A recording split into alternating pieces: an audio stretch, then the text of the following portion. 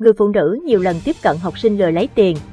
Bạn đang xem kênh YouTube chính thức của báo Việt Nam Net.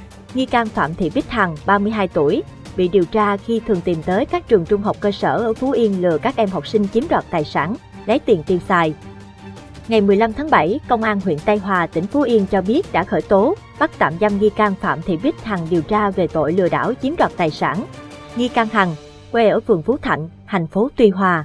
Theo điều tra, để có tiền tiêu xài, nghi can tìm tới các trường trung học cơ sở ở huyện Tây Hòa, tiếp cận các em học sinh lừa lấy tài sản, chủ yếu là điện thoại rồi mang đi bán.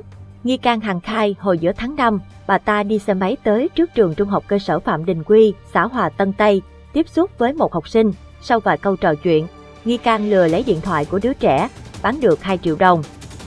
Gần đây nhất, ngày 13 tháng 7, một nữ sinh lớp 6 khác đang ngồi trên ghế đá cùng nhóm bạn trong khuôn viên trung tâm Anh ngữ ở xã Hòa Phong. Nghi can Hằng xuất hiện, chỉ tay đưa lên xe của mình chở đi. Giáo viên không thấy học trò, tìm hiểu thì phát hiện sự việc. Người này báo cho gia đình việc con gái đi với người lạ, người mẹ điện thoại, song con gái cũng không phản hồi, liền trình báo công an. Trích xuất camera, cùng đặc điểm nhận dạng cảnh sát xác minh bà Hằng là người liên quan đã mời về làm việc. Tại đây, bà ta thừa nhận toàn bộ hành vi của mình.